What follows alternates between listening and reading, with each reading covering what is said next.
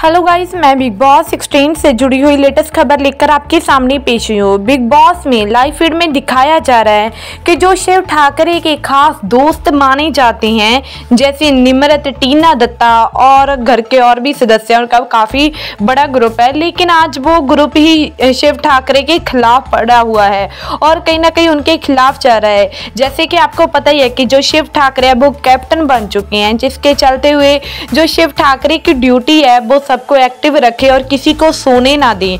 लेकिन इसी के चलते हुए जो प्रियंका चौधरी है और अर्चना और सौंदर्य जी तो सोई सो ही रही है क्योंकि जे कह रहे हैं कि हमारी नींद पूरी नहीं हुई है, जिसकी वजह से जो शिव ठाकरे की कैप्टनसी है, वो काफ़ी ज़्यादा कहीं ना कहीं खतरे में है। लेकिन इस में इनका साथ दे रही है निमरत, टीना दत्ता एंड शालीन भी बीच बीच में सो रही है और जो अब्दुल रौजिक है, उनको भी काफ़ी ज़्यादा नींद आ रही है और कहीं ना कहीं जे लोग भी शिव ठाकरे की आज कैप्टनसी के खिलाफ सोते हुए नज़र आ रहे हैं।